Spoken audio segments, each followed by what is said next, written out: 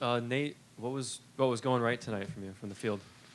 I mean, uh, everything, I guess. But no, I mean, I just give it credit to my teammates. Yeah, it's, they've been staying on me, just to play within myself, and I mean, just go after it. I was talking to Coach Collins, Coach Doug Collins, uh, a couple days after practice, and he just said, "Hey, you got 13 games left here at uh, Welsh-Ryan, so really, uh, really take advantage of it." And I really took that to heart. So.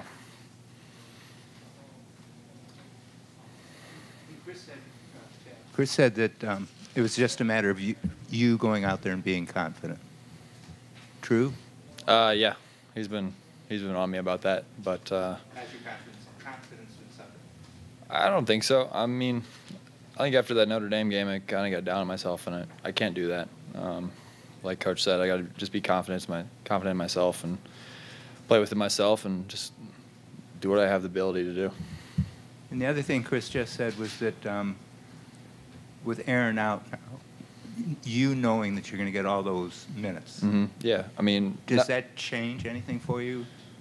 No, not, I don't think it changes my approach. I think um, even with Aaron there, we, we both had the mindset of, hey, we're we're going in, we're going to make an impact. Um, but with him with him out, with Derek out, and with Rap out, it's, it, I mean, it's pretty self-explanatory. I guess Chris used the term. It helps when he knows he's going to get those minutes. Yeah, you get you get your mind ready when you know you're going to go in. Um, you kind of have an idea when you're on the bench and you see in the game flow, and um, but you have a better idea when you see foul trouble or how things are going in the game, and um, you get you get mentally revved up even more so than just during the, before the game. So that certainly helps. Yeah.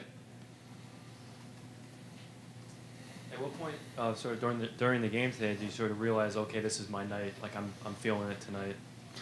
I mean, I never really realized that. I never really realized how many points I had or how many rebounds I had. Um, but just kind of played with myself, just took it play by play and um, tried to make an impact.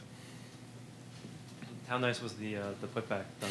I haven't seen it yet, but um, guys were telling me they didn't know I, I had it in me. So uh, I was like, yeah, well.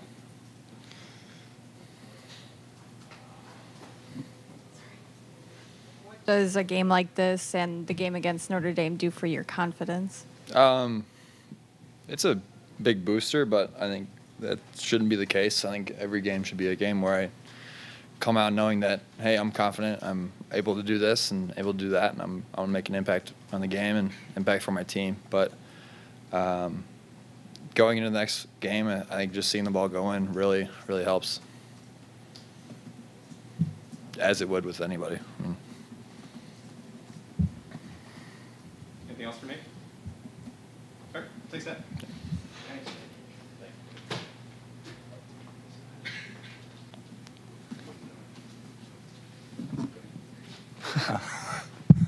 Isaiah Brown comes out of the game. Yeah. You sit down next to him, put your arm around him. What are you telling him?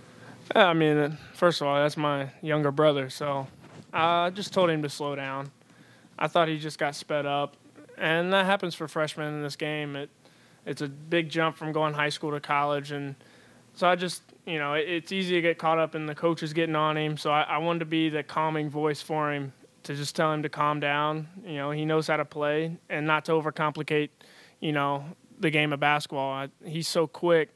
You know, he just needs to make one move and get by somebody. I think you know he he is really skilled. So sometimes I think he overcomplicates it and then kind of fumbles everything. So I just told him to slow down, take his time, and uh, you know he's a great player, so he you know not to get flustered.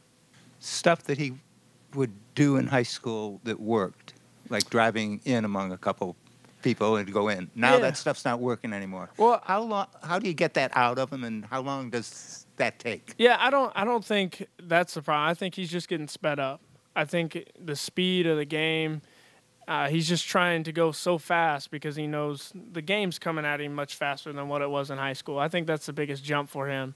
So just telling him to slow down, like let the game come to you, and just see the play and make the play, as Coach Baldwin always says. So, I, I that's the that's the one thing I'd I'd advise him, and that's what I was trying to do is get through to him is just slow down. See the play, make the play. Bryant, 41 points off the bench tonight, 18 from from Taphorn. How nice was that, sort of, for the starters to sort of be able to rely on those guys tonight? Awesome. Uh, Tap did an excellent job, especially in the first half, coming in and busting up their middle of their zone. Uh, we were able to get it to him a couple times, and you know his turnaround jumper from about 17 feet's money.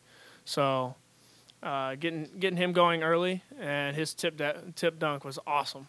So uh, he had a great night, and then you know our whole bench came to play. I think everybody played over 13 minutes tonight. So uh, being able to rest some guys that are playing heavy minutes, and also allowing those guys that aren't playing as much minutes to to get more playing time and uh, see a little more action.